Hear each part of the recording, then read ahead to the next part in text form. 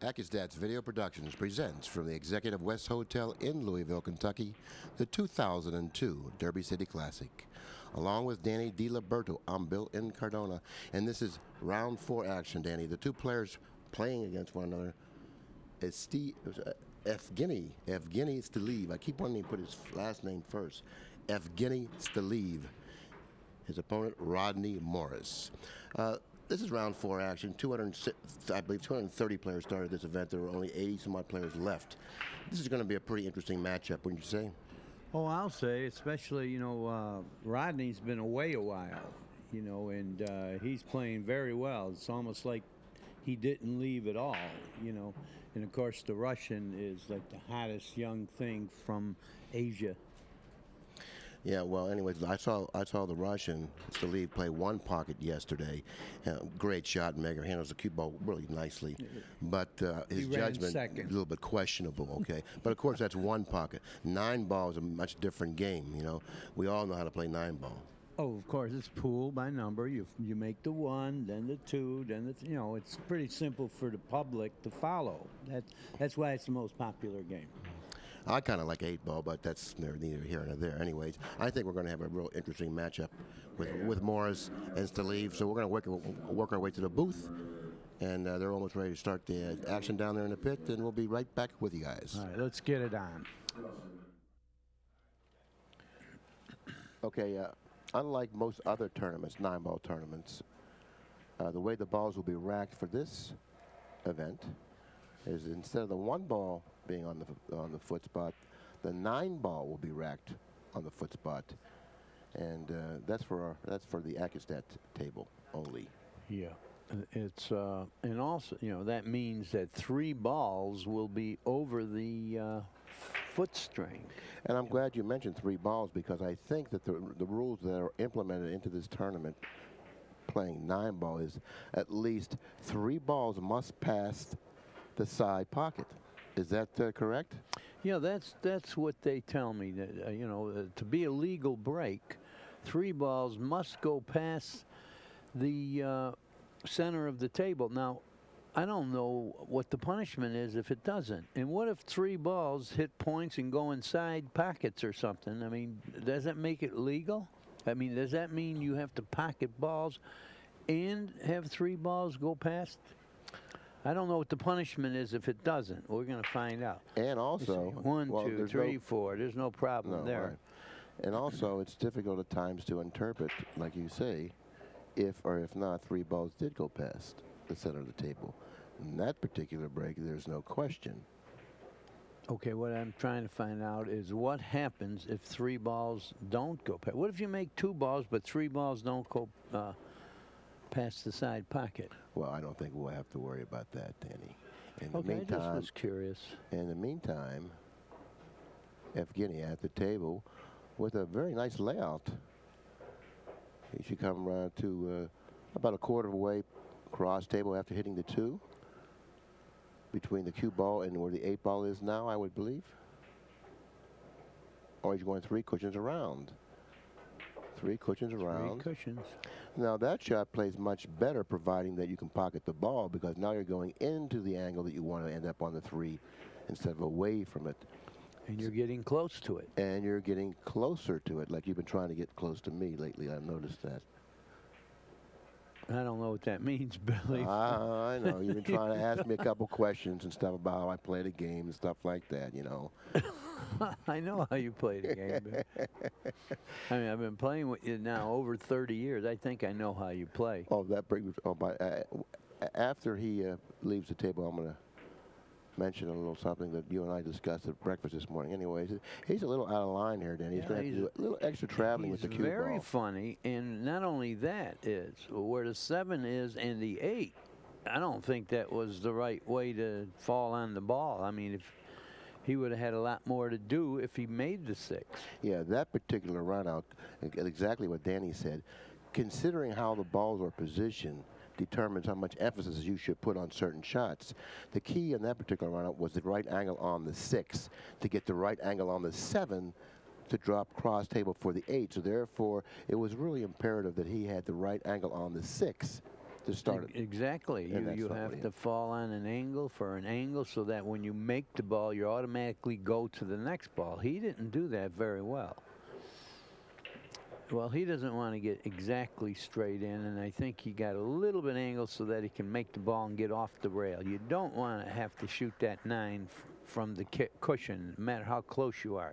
Now, he got a perfect angle to get off the rail. He's a really a smooth player, by the way, you know, Yeah. and he's got a lot of power in his broke. He's got a pa- in his break, and he's got a powerful stroke, and he's got a lot of heart. This game number one goes to Rodney Morris, and he takes the early lead in the short race to seven, one game to zero. Now, getting back to what Danny said about knowing how I play, he's known me and he saw he's been watching me play for 30 years. Now, 30 years was a, a number you threw up at the re- or I threw up at the restaurant. It's more than this that. Morning. It's probably more than that, It's right? more than that. I said, Danny, I make better sauce than you. We had an argument who made better sauce. You know. Well, how can we spaghetti. tell that without tasters, Billy? Okay, you, you can't say yours Danny, is better. would you please let Wait me a finish? minute. Please Yeah, let go ahead, finish, okay? Billy. Thank you. Okay, I heard you. this all at breakfast. No, but, but the other, everyone else did. Okay, let's hear this. Billy makes So, the best uh, sauce. No, no, no, Danny, Danny. So, Danny said, "Well, you must have just learned to make sauce because we were on the road 30 years ago. You didn't know how to cook then. And in 30 years, you can learn to do a lot of things, Danny. Okay? Would you agree? you didn't learn a lot of things. Uh, yeah, okay. Uh, well, Danny. Okay, here comes the break. He does have a solid break. You notice the cue ball didn't fly around. He controlled the cue ball. He's got position for the one, and uh, it looks like if he falls on the two, this could be over. Well, it looks like the one to the two is really the, the, the answer to this particular rack because notice the three in front of the upper right hand corner, the four near the right hand side, all the balls are open quite nicely.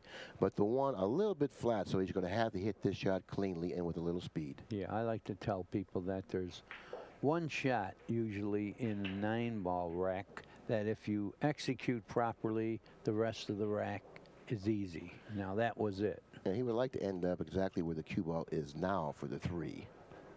And he did that pretty nicely. Now he uh, automatically goes one rail under the five and he has the four in the side. Or is he going to go two? He went two. You know why he went two? Because that eliminates having to roll the ball. You know, a lot of players like to hit it with authority. So he went a little greater distance, but that meant he could shoot a little Right. more, Which you know, a in- little harder. which in turn increases the accuracy of the shot. Right. And that's that's the most important thing when you're at the table, staying at the table. Missing balls, you don't stay at the you, table. You see what he did here? You know, uh, uh, inexperienced players would just get up and get position for the six and then worry how to get on the eight. But he got the perfect angle on the six to go to the eight, and that's definitely not accidental. And he's going to have a similar layout here.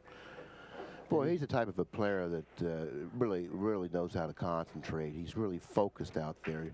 And I'm watching him as he walks around the table, Danny. His eyes are on nothing but what's happening at the table. And his eyes never wander. He never looks at his opponent, never looks at the spectators. It's always on the table, you know, and that tells me that he's focusing and concentrating 100% on business at hand. Yeah, and he focuses and concentrates pretty quick. He, you know, that was fast rack. I don't think it took a minute and a half to get out there. No, he's really a natural player. You know, he's uh, he knows exactly what he needs to do, and he wastes no time in doing it. And he, but he's not really hasty. You know, I think that uh, you know he, he's thinking as he's playing because I'm watching him.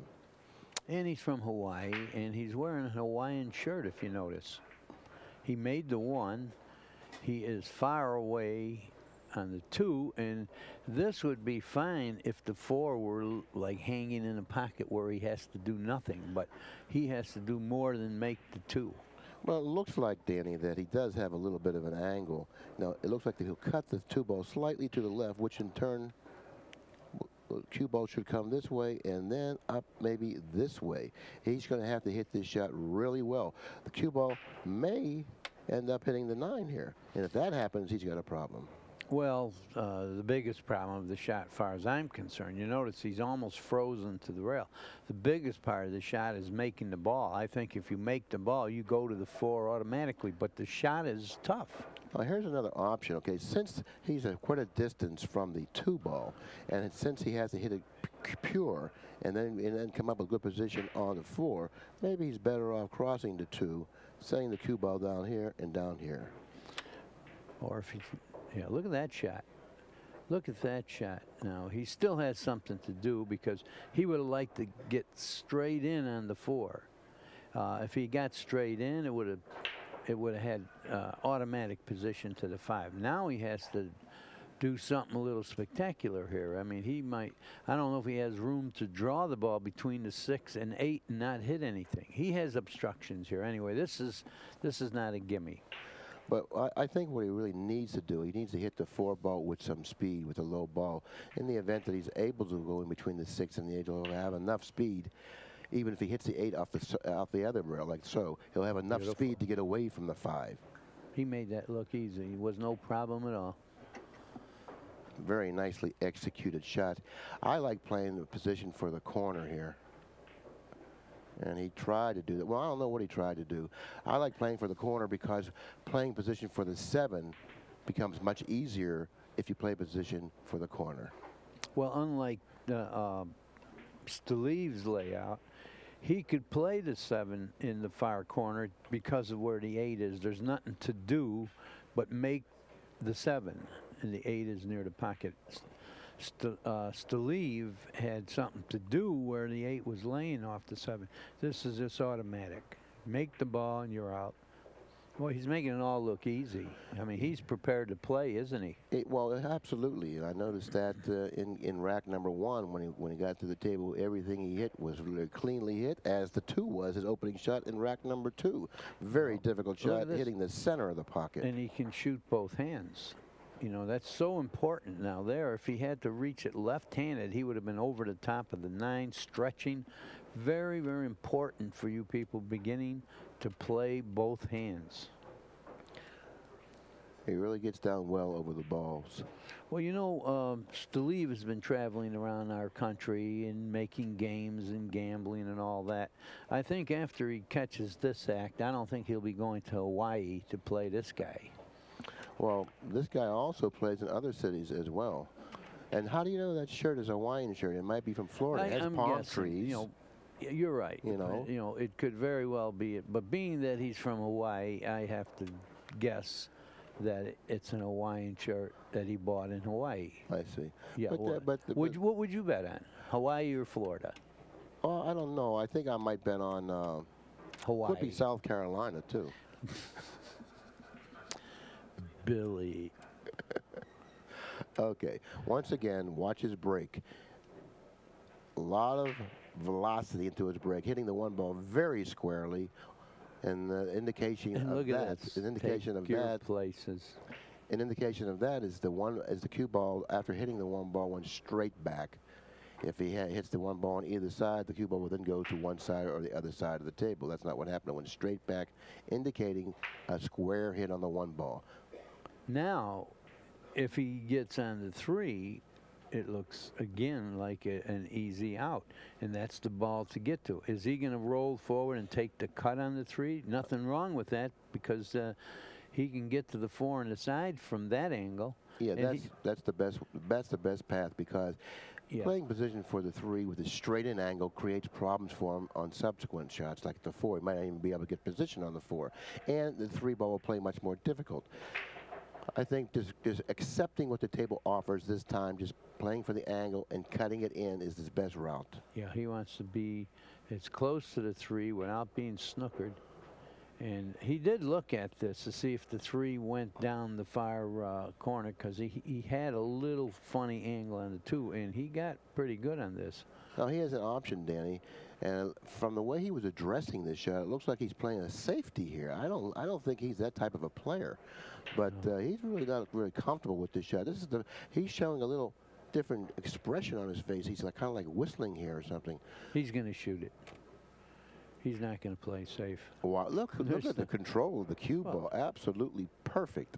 he couldn't have put it with his hand any better. But now he'd like to go a little bit forward, get an angle on the five like that to get to the six. That's what the whole game of nine ball is about. Leave an angle on the ball you're shooting that will automatically get you to the next ball. And then uh, you need an angle on the next ball to get to the next ball. And that's what it comes to, like threes. You need an angle for an angle for an angle. And he, he did all that. He's got a little bit of work to do here. Now on the six ball, I thought perhaps he would have been better off ending ending up straight in on the six, drawing straight back. He would have liked to end it up there. Now he's got a little bit of an awkward angle. He's got to play it for the short yeah. side of the table. Since the eight ball was on this side of the table, more so than on the other side, yeah. we refer to this as the short side of the table. And at times it's more difficult to play position on a ball that's positioned on the short side. Well, he had no trouble doing this. And what this is four, isn't it? Are you running four racks? This is going to be four nothing already. So he certainly has come to play. Like Danny said, he's been away from, from the game for a while, but nevertheless, when he came back, it looked like he never left at all. That's exactly right. Yeah. So he's run three and a half racks. He uh, stepped right. to the table with four balls remaining in the first rack, ran them off, and has run three consecutive racks after that. So therefore, he's been at the table now for three and a half racks. Uh, Evgeny is in the chair watching all this, and if he gets another wow. opportunity at the table, I'm kind of curious to see how he'll respond. You know what? Uh, he's not even watching this. Uh, Stalev. He's looking out at the room watching everything else. I think he wants someone to say, your shot. He doesn't want to watch, see what happens. This guy keeps making a ball in the break and running out. One, One in the side again position for the two, but I think the three and eight are going to get difficult. So, but the eight ball, Danny, ended up about a quarter of an inch off that side rail. The three right in front of it. Uh, that looks like a pretty easy combination, providing he can reposition the cue ball in a reasonable line for the combination. Yeah, he got, he got really uh, funny on the two. He if he had another couple inch angle, then it would have been nothing to pocket it. But now he's sort of straight, and he I don't I can't see him getting a real good angle 3-8 unless he goes forward two rails. Now this type of a shot will tell the story on how well prepared he is. This is the type of a shot that demands accuracy and speed and if he hits it pure pure, you know that he's definitely ready to play. But yet you should you should know that by now anyways. Yeah. But I think he's going to pocket it with speed. Okay. He's taking the shot. He decided I'll just I'll just cinch this two and take the shot in the eight because if I make it, the cue balls are going to go cross side and back, uh, and he'll have position for the for the three. You know, uh, it's not natural by any means. The position of the seven, it could be an interfering ball when he steps back to the table. It's in a real difficult position, the seven that is, and also the cue ball. He's going to, you know, he's going to have to do a lot of work, and he's going to have to hit this accurately to get position. Well, he didn't, but you know, he didn't really sell out a shot. So he has this, I mean, uh, Stalev has this basic safety, bank the three, to the end rail where he's standing and try to leave the cue ball down at that end. I mean, I like that. I mean, he's looking at other things. Maybe he wants to try to go behind the eight and okay. use the, the seven. The other shot he has is to bank the three in this area, repositioning cue ball there. Very, very easy shot to lose the speed of the cue ball with, but very effective if you're able to control it. Right. He definitely. But anyway, he's been sitting there a while. Now his first shot is a safety. He decided to use the seven and four to get him with, and I don't know, he might have left the window here. It looks like he has left the window, at least from our vantage point, and it appears to me at least that he's left the window. And if he did leave the window, running these balls should be no problem for Morris, especially when you consider how well he's playing. Yeah. Yeah, that was a little unlucky. Uh, you know, he had to leave it perfect, and he did.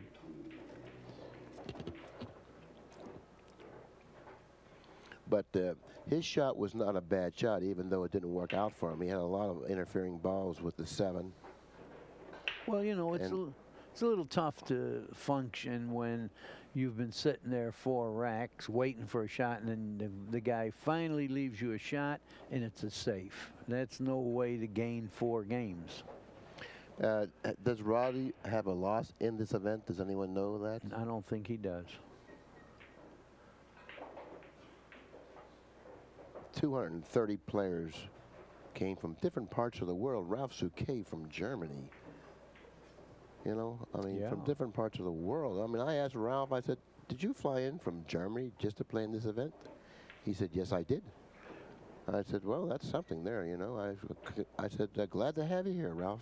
I, I, there's a lot of quality players in this event. I'm talking about, I, I, I'd venture to say there's, with, with the absence of Reyes and Bustamante, every other strong player in the world is here. Oh, you're right. You're absolutely right. This, this is a good feel. Earl Strickland is here. Nick Varner is here. Johnny Archer. And he's playing well. Corey. Deuel, Yeah. Rodney Morris, And Shannon Dalton came all the way Dalton. from Kentucky to play here. all the way from another another ball pocketed on the break. But In this position. time, this time, one ball finally coming to a halt right in front of the corner pocket.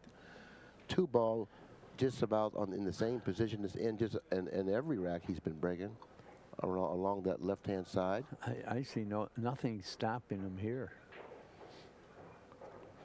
I Position from the three to the four looks like the only thing that may that may be a slight problem. Oh, well, Evgeny may not be liking this game as much as he did a week ago. You know, he's a, a good practice here would be to stay. Do not take this route because you're safe all the way here. You know, just take the one rail route. Stay on that side of the eight ball. That's what, the shot. That's what he did. You, you, and that's a good uh, thing you pointed out, Billy. If you got choices in routes to go from the cue ball to the object ball, take the route that you're least amount snookered in the path. I mean, look at this. I mean, he's making it look like he's practicing. You know, he just gets up, one stroke, bap. Perfect. And he's making it look like he's practicing very well. Right? Doesn't it look like he's just knocking him around? He's so loose and confident. Oh boy, I wish I could play like that. I wish my demeanor was like that. Billy. Oh, I wish it was like that. Mm, I 72. would give. Oh, I would give almost anything to be able to play like this man right here. Billy, It's so much fun. you played so like that fun. in 72, Billy. Danny, I'm not living in the past. You got to move with the times. I know, but in other You words, you- got to move, Danny. You had your moments, Billy, so, you know, now it's his turn to have his moments. I'm You're an old goat. I'm not. I'm not begrudging anyone. You're missing the point. I'm saying I wish I could play oh, like I that. know. I know. You know, I just don't want you to feel too bad about it because I'm pointing out that you did have I don't your days. I don't feel bad. I feel, I feel like, you know, I, I had my time, like you say, you yeah. know. But I wish I could. I have it one more well, time. So do I, but, you know, that's life. Uh oh, cue ball. Watch out. Okay, the one ball hit the point of the side pocket, and had it not hit the point, he probably would have run out. If he had a shot, now we're going to have a rare, rare push after the break. This is the first time this has come into play. Unless he could see it. Now he's looking to do something. He wants to shoot. He doesn't want to be pushing, and but he's going to have to. And you know what? I like the trick push. Push this cue ball. Push this cue ball over here and then see what your opponent does. And if he that's what he's doing, sort of. Well, he left an edge of it. I wouldn't have left an edge. I just would have put it there and then try to kick behind it. Now this is uh, Stalev's second shot, and he's got another safe. I like, yeah, I like, I like shooting the one ball here, cue ball here. That way, there's a lot of good things that can happen for him. like that. Did he leave the window again? He's looking. This will be something if he left the edge of the one to pocket because that's just what he did with the other safe. You know, tough to be losing five nothing and, and you get up and you're playing safes. It looks like he has a shot because he glanced at the position of the two, which is an indication that he wants to play Yeah. position. So where is the two, and where do I need to get? No, It's a six nothing advantage, and if he runs the balls on the table, the match will then be over. Uh-oh, first ball he missed. And he took his eye off the ball because he put more emphasis on controlling the cue ball. playing position in front of the three instead of going around it. Yeah. Which I don't have any problem with him shooting it like that because I probably would have shot it like that th- myself. But he did take his eye off the two ball. And the, and the match would have been over, I would guess, if he would have made that. Well, anyway, uh, Evgeny finally gets a chance to run out. He better take advantage because there's not going to be many chances. No, there isn't. And getting back to Rodney Morris, you know, he entered a, at an event in in in the uh, in the Sands Hotel in Reno, Nevada, after being away from the game for quite some time, and it was like he just never left. He won the event. He and I'm- did? I didn't he know won the event. one. Yeah. So therefore, it's it's it's it's quite clear, you know, why he won the event because he never misses a ball. Just about. He he seems so comfortable doing what he's doing. Well, the only way he can go a little astray here is to get straight in on the six, and it looked like he did that. He might have a little angle to get off the rail, or he looks like he's winding up to draw at one rail. You know, uh, that was a little careless. You must leave an angle on the six to get to the eight. I still think he's better off going forward. Drawing this ball one cushion and back out, you know, well, he, he's going forward. He's just taking the shot. Yeah. He would like to be a little easier than this. This is not a gimme, especially when you're getting shut out and it's near the end. Playing the nine in the same pocket increases the accuracy of the shot on the eight. Except, like I said, you want an easier shot than that. And uh, like I say, F. Evgeny may not be liking this game as much as he used to. Yeah, when you're running out, you want to have an easier shot on the eight than he did. And he got punished. Well, Rodney got on what I call the 50 yard line. I imagine he'll make the ball, but he did get out of line. One of the rare times so far he got out of line. He, he's got his choice. He could shoot it in either pocket. It looks like everything is dead in line, straight up and down the table. And he made that. And the match is over that quick. And it was painless for Evgeny. Well, Rodney really only made one error in the match, and that was missing the two ball. Other than that, he played flawlessly. Great match.